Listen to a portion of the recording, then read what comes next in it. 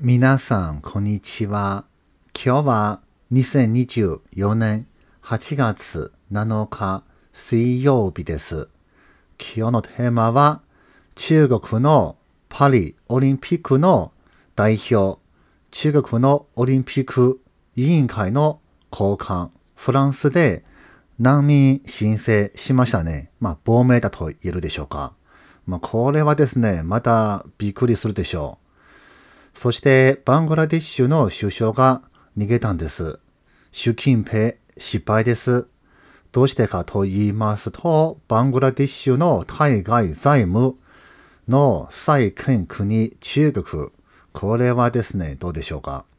ロシアのショイグ元国防長官、イランを訪問しました。また、イランによるイスラエルへの復讐攻撃についてい情報ですね、多いので話をしたいと思います。情報が多いので少しずつ話をしたいと思います。1、バングラディッシュの若い子たち、青年たちは抗議活動して成功しました。8月5日、橋名首相は逃げました。逃げてからインド到着してから自分は辞任すると発表しました。家族さん、妹さんとか連れて自動車、四駆の自動車、これはですね、ランドクルーザーですね、乗って空港まで移動してヘリコプター乗り換え、インドへ逃げました。インドに到着して、インドの警察チーム待っていたので、橋名さんは自動車に乗ってホテルへ移動しました。これについて中国側の情報ですが、橋名さんはこれからイギリスのロンドンへ移動します。原因はですね、橋名さんの家族さんはアメリカとイギリスに在住しています。息子さんですね、アメリカにいていますので、今回学生さんの抗議活動について鎮圧するよとアメリカで発言しました。あの、バングラディッシュも中国も同じですね。高官たちの親族、息子、娘さんですね。大体海外にいるんですよ。橋名さんは20年以上首相としてやってきました。莫大なお金を外国に送金しました。橋名さんが逃げたので、首相官邸に若い子たちは入って、家具とかインテリアとかですね、などなど持っていきました。そしてペットの犬くんも奪われました。また、青年たちは公開にも入って自分の勝利をお祝いしました。特にバングラディッシュの兵士たちに握手をしました。ハグもしてありがとうと言っています。軍側は国民の民意を支持していて、今回の活動、抗議活動を勝利しました。若い子たちは軍に感謝していました。抗議の流れを言いますと、若い子たちは最初は抗議する。橋名政権、政府は鎮圧しました。でも青年たちは納得しないので、さらに抗議して、それから首相は、まあ、逃げましたけれども、やはり鎮圧されても負けないことがとても重要なんです。2024年世界の選挙の年だと言われていますが、バングラディッシュの独裁政権は一番ですね、倒れました。そして、バングラディッシュのサマン陸軍参謀長官はテレビで演説しました。まず、臨機、臨時政府を作って政府の運営を維持する。経済が混乱しているし、犠牲者も多かったです。暴力をやめて正常の生活に戻ることが最優先です。臨時政府とは野党と民間組織と専門家で作ります。安心してください。橋名の与党、アワミ連盟っていう組織ですね、参加させません。というふうに説明しました。実はですね、このザマ陸軍の参謀長官は結構支持されていて、彼は普通の軍人でした。軍に入って40年間です。国連の平和維持部隊でも活動しました。また臨時政府を作って数週間以内、今回の抗議で多くの警察官は民間人に向けて発砲しました。暴力も降っていました。これから証言とかカメラの情報を集めて分析します。容疑者に責任を追及する。まだ首都の高であっても、バングラディッシュ全面的に解禁する。つまり、緊急事態はもうないんです。野党も発表しました。みんな落ち着いてこれから新しい国を作ります。独裁者は長年やってきました。みんな大変でした。これから民主的となって、みんな投票で政府を決めましょう。臨時政府を作ってから選挙を準備するからというふうに説明しました。まあ、現地の記者さんの情報ですが、やはり心配することがあるんですよ。まずですね、若い子たちは、青年たちは、各地域には被害者が今までたくさん出ましたし、橋名政権を維持する、支持する官僚たちに責任を追及する、あるいは復讐しようとしています。そして、現在、軍側は活動しない状態ですので、野党は現在活動して落ち着きましょうと呼びかけています。これ以上ですね、混乱ないようにしています。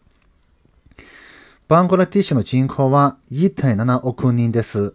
まずですね、この国は私がいたことあるんですが、治安が非常に悪くて、衛生状況も悪くて、とても貧困の国です。50%以上の国民はとても貧困の状況です。でもですね、結構ランドクルーザー走っていました。そして日本の中古車ですね、ナビはですね、日本の地図だったんですよ。でもですね、日本の自動車の周辺にはぶつかってもいいように、そういう枠ですね、つけてあるんですよ。つけてあるんです。橋名さんは、既得権益、この集団を守ってきました。抗議活動は約1ヶ月間ほどあったんですが、犠牲者の数は300名以上出たんです。先週、現地の警察署は犠牲者あの出たんですけれども、当時ですね、あのそういう、まあ、デモの攻撃を受けてですね、警察官は14名も犠牲しましたけれども、犠牲となったんですが、しかしですね、今後注目されているのは、軍の政権登場するでしょうかやはりこれからこういう可能性としてはありるでしょう。でもですね、問題はないんですよ。1991年、バングラディッシュというのは民主化を推進されて、国民の認識もそうですし、当時価値観もあまり成熟ではなかったんです。例えば、野党とか与党ですね、選挙を参加して勝利しました。野党は認めなかったり、でもですね、クーデターというのはなかったんです。2007年、軍側は臨時政府を作ったんですが、でも軍としては政権を取ることはなかったんです。橋名さんは逃げてからアメリカ、また国連はバングラディッシュの軍側に警告しました。国家の安定を守るように。アメリカの専門家はこれについて評価しました。バングラディッシュの軍は国家の軍人です。個人の組織ではないというふうに評価しています。また、バングラディッシュの民主体制ランキングでは世界で75位です。ちなみに中国は148位です。バングラディッシュとほぼ同じ、やや上の国といえば、マレーシアとインドネシアです。そして中国側の専門家たちも反省しました。バングラディッシュの活動は実は2019年からなんですよ。当時の選挙に納得しなかったので、抗議活動はあったんです。2022年、コロナの影響でガソリン価格高騰して、まだ抗議がありました。2023年、ハイシナさんは反対派を逮捕して、そこでまだ抗議がありました。そして先週、最高裁は、えー、公務員の修正、割合を修正しました。それでも、セネたちは納得しませんでした。最後は、橋名さんは逃げました。この運動はずっと続いてきました。犠牲者はこの数年間ですね、少なくても1400名以上でした。議会の抗議活動で処理するとはありえません。長年必要ですと。これに関して、ニュージーランドの専門家が分析しました。しかしですね、今後のバングラディッシュは民主体制となりました。経済がこれで反映する生活が良くなる、生活の環境がこれで改善できるっていうのは、えー、とは限りません。民主体制とは、国民は議員さんのことを選びます。団体の代表を選びます。国会で討論する争って利益を分配するんですよ。独裁政権が生まれないようにします。民主体制となってインフラ建設はできる。産業、科学技術がこれで発展するとは限りません。民主体制はあくまで基礎であって、これから自分で努力しなければいけません。ただし、一番早く現代化の社会、あるいは現代化の国家を実現する近道があるんです。それは外資系のことを誘致することなんですよ。これについて注目します。ちなみにですね、中国の場合はどうして失敗したでしょうか？と言いますと、まずですね、7月24日、ハニヤさんですね、7とそういう交換、ハマス側はですね、北京を訪問しました。ファタハ、とハマスは北京で共同宣言に署名して、我々は団結するぞと発表しました。しかしその後、イスラエル側はものすごい批判しました。その後、ハニヤさんは爆発で亡くなったんですね、イランで。そしてこれからまた話をしますが、ちなみに、先月7月の10日、橋名さんと習近平会談しました。橋名はですね、北京を訪問したんですよ。習近平はそこで決めたんです。50億ドルを貸しました。先週ですね、バングラディッシュ側は一時的に落ち着いたんです。習近平は祝福店を送っていました。実はですね、お祝い金を送ったらしいんですよ。詳細はわかりませんが、金額はわかりません。2016年、バングラディッシュ、橋名政権として、まあ、中国政府のシルクロードを参加して、250億ドルのアメリカドルですね、インフラ投資を受けました。中国というのはバングラディッシュの最大の債権国です。そこで橋とか国道とか発電所とか高速道路とかを建設しました。現在はですね、橋名政権はもう存在しないでしょう。バングラディッシュの専門家は分析しました。中国のシルクロードプロジェクトを参加して、橋名政権はさらに腐ってきました。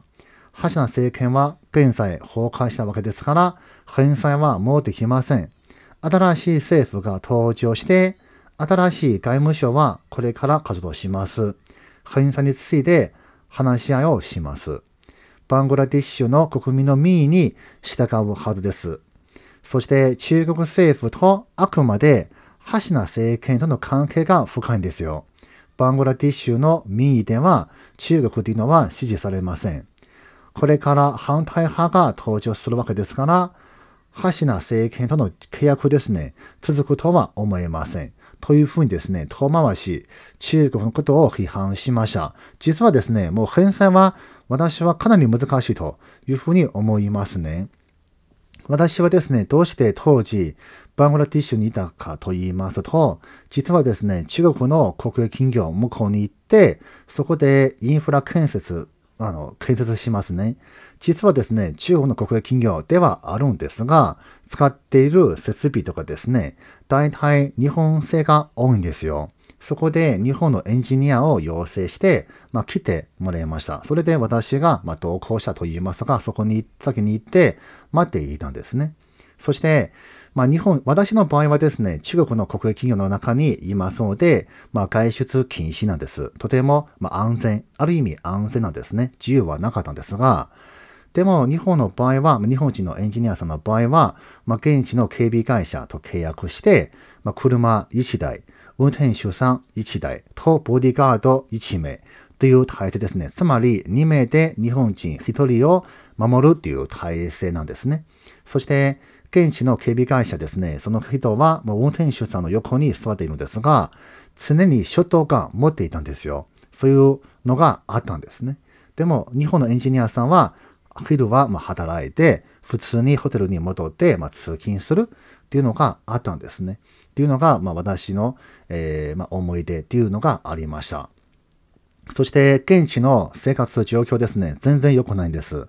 シャワーは毎日浴びれるとは限りません。ものすごい暑かったです。そしてシャワーをですね、浴びるときに、まあ、頭をですね、洗いますけれども、当然ですが、目をですね、もうしっかり閉じなければ、砂が目に入ってくるんですよ。なので、目をですね、しっかり閉じることですね。やはりやっていました。うん、衛生とても悪かったです。というのが私の印象でした。次ですに、ベネズエラについてまた情報がありまして、そしてですね、まあ、一応ですね、あの、ゴンサレスさん、ジュン大統領だと言えるでしょうか。このゴンサレスさんは声明を出しました。まあ、今回の選挙で、まあ、彼がですね、処理したというふうに言われていますが、世界も国民もみんな知っている。我々は処理しました。そして警察と軍隊に願います。国家のために、国民のために、自分のために、自分の家族のために支持してください。国民の周りには兄弟、親戚、お友達、旦那さん、彼氏、同級生の中には、まあ、軍人、あるいは警察官はいるでしょうか？まあ、軍人と警察官は武装組織ではないんです。乱暴をやめるように説教してくださいと。違法の命令を無視してくださいと。我々民意を支持してくださいというふうに要請しました。そして EU 側はやっと発表しました。投票に関する情報を公開しましょう。公開しなければ EU としてマドロさんの選挙結果を認めません。そしてアメリカ側の情報ですが、ベネズエラの選挙の不正について、実は2019年抗議があったんです。でもアメリカは当時無視しました。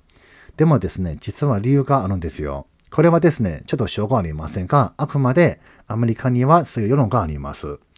当時、アメリカの石油団体がですね、マトロさんのことを支持していました。もしですね、ベネズエラは正常の国となったらですね、ベネズエラ産の石油はものすごい急増するでしょう。というふうに判断しました。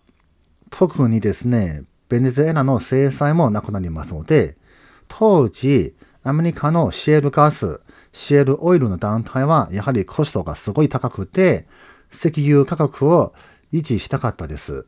もし別ならですね、その石油はたくさん出てきたら困りますっていうのが、まあ、今の情報ですが、ただしこの情報について、あの、確認はちょっと難しいんですが。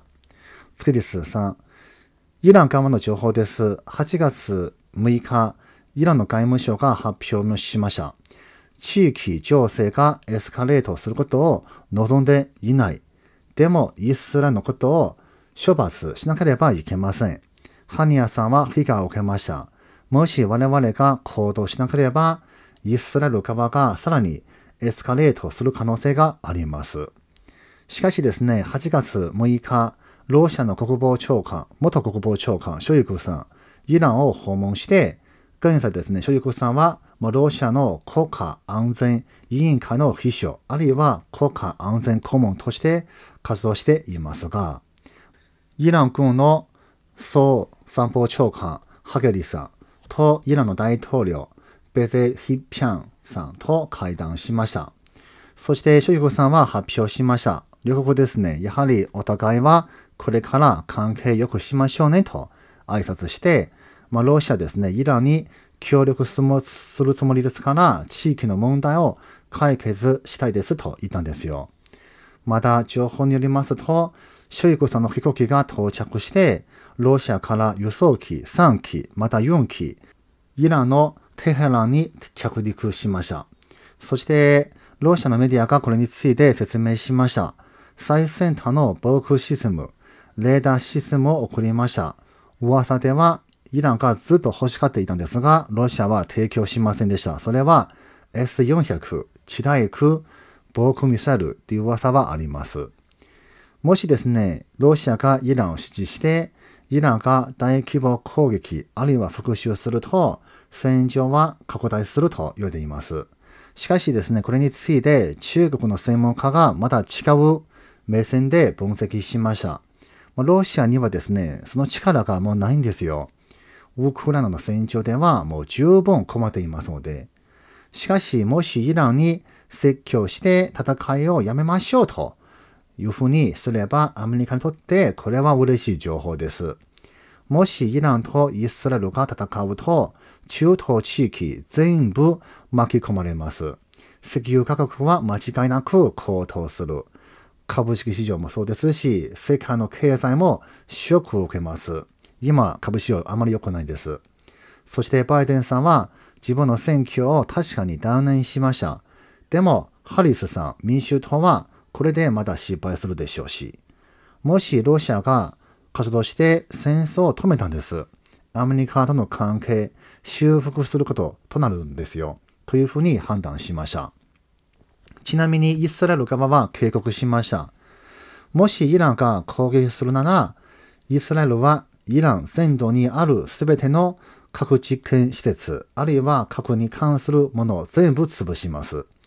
また、えー、レバノンのヒズボラにも警告しました。我々戦争の準備はもう終わったんです。できました。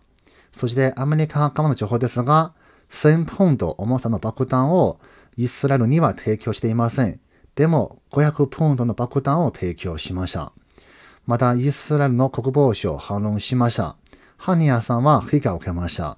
イスラエルの工作員がやったり、あるいはイスラエルが攻撃したという情報あるんですが、証拠を公開しなさいと、証拠もないのに戦争を起こすことは通用しませんよと、つまりハニヤさんですね、我々がやったというふうに我々は言っていません。というふうに反論しました。もしですね、イランが攻撃しました。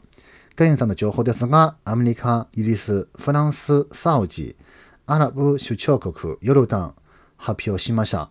我々イスラエルを守りますよと言ったんですよ。例えばですね、無人機とかミサイルを撃撃するでしょうと思います。そして、ヨルダンとサウジの外務長官発表しました。イランとイスラエルの間にこれがですね、あるんですよ。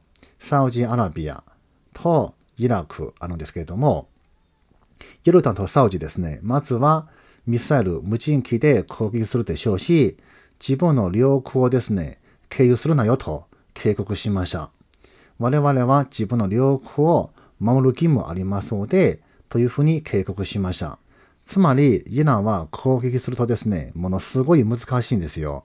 イランはですね、イスラエルを攻撃しますので、どうしてもですね、ヨルダンを経由するか、サウジを経由するでしょうと思いますが、イラクをですね、経由しても、やはりヨルダン、真ん中にありますので、難しいと思います。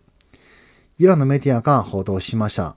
復讐すると重い代価を支払うでしょう。イスラエルには防空システム、西洋の防空システムありますし、強いでしょう。また、反撃されたら、我々の被害が大きいでしょうし、石油の輸出も困難です。というふうに判断しました。これはですね、結構、イラン側のメディアがこういうふうに発表すると、ちょっと、報道するとちょっとびっくりしましたが、これについてアメリカの専門家が分析しました。イスラエルはイランとの交渉するつもりは全くないので、イランの復讐とすれば限定的ではあるでしょうが、それ以外に実は選択肢がないという状況なんですよ。でも、イランがもし報復すると、ヒズボラも動きますから、激しい戦いになる可能性もあります。というふうに判断しました。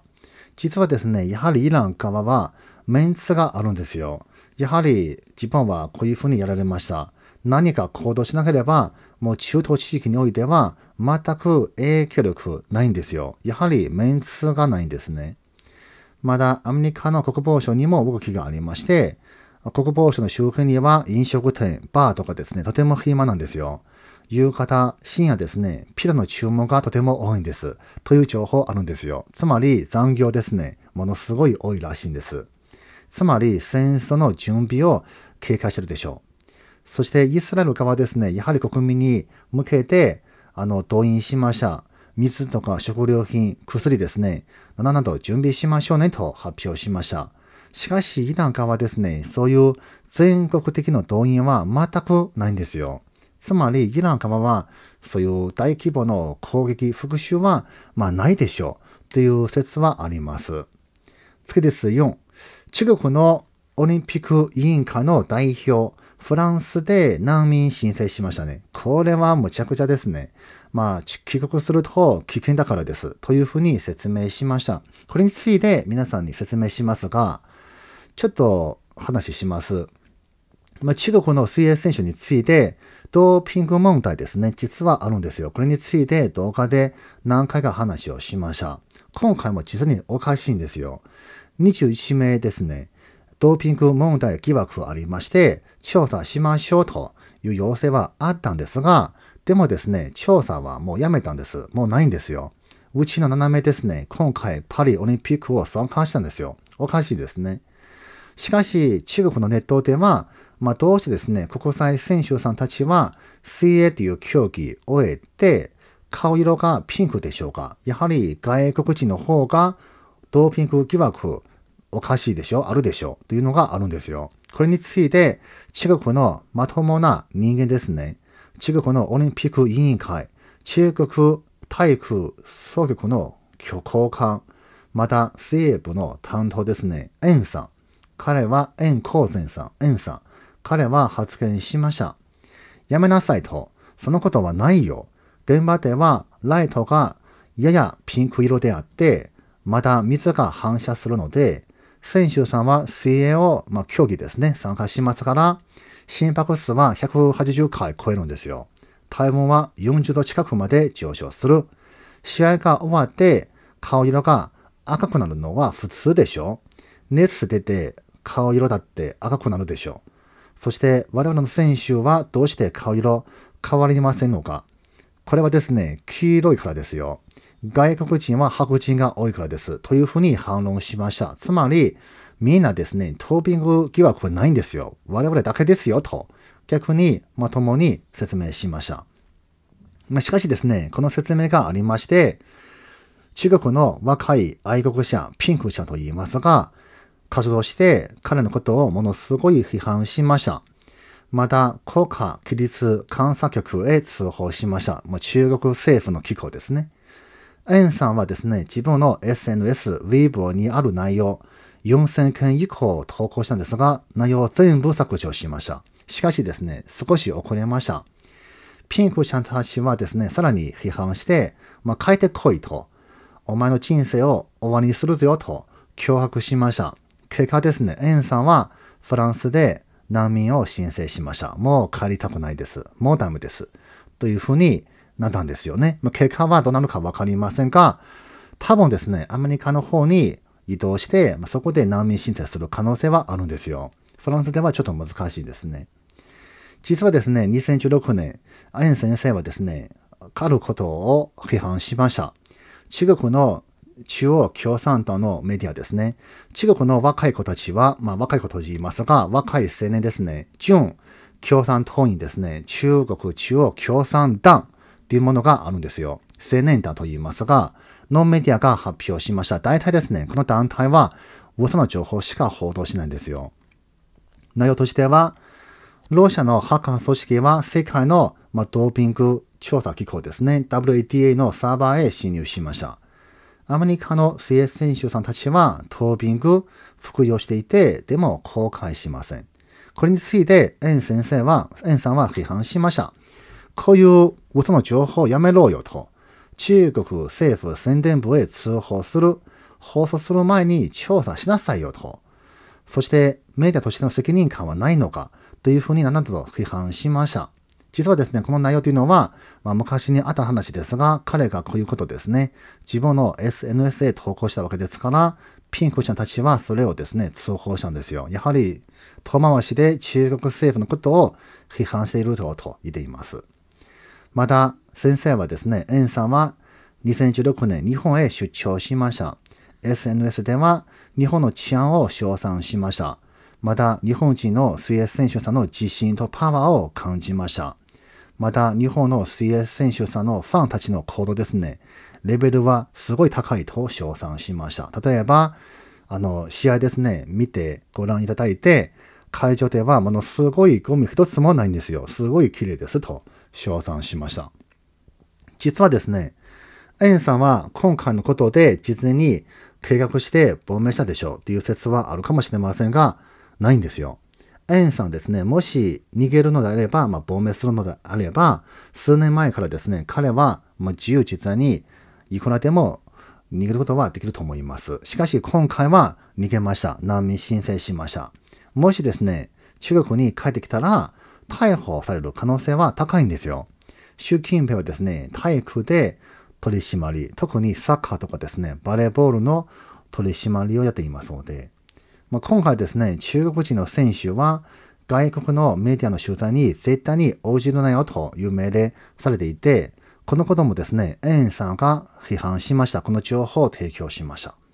実はですね、中国のやはりこういう人間ですね、まあ、今回はちょっと話題となるかもしれませんが、やはり中国のオリンピック、まあ、チームですね、オリンピック委員会の一員ですが、彼はフランスに行って、まあ、試合、まあ、まあ、除去と言いますが、試合をですね、補助すると言いますが、でもですね、今回は難民申請をしました。中国のこの社会ですね、やはりわかると思いますが、ものすごい生きにくいというふうに思います。もしエンさんは帰ってきたら、これから人生はですね、ものすごい難しいと思うんですよ。逮捕されるというふうに思います。またですね、今後どうなるでしょうかわかりませんので、情報がありましたらまた話をしたいと思います。この動画はここまでそう思います。最後、犬ボタンをお願いいたします。ありがとうございました。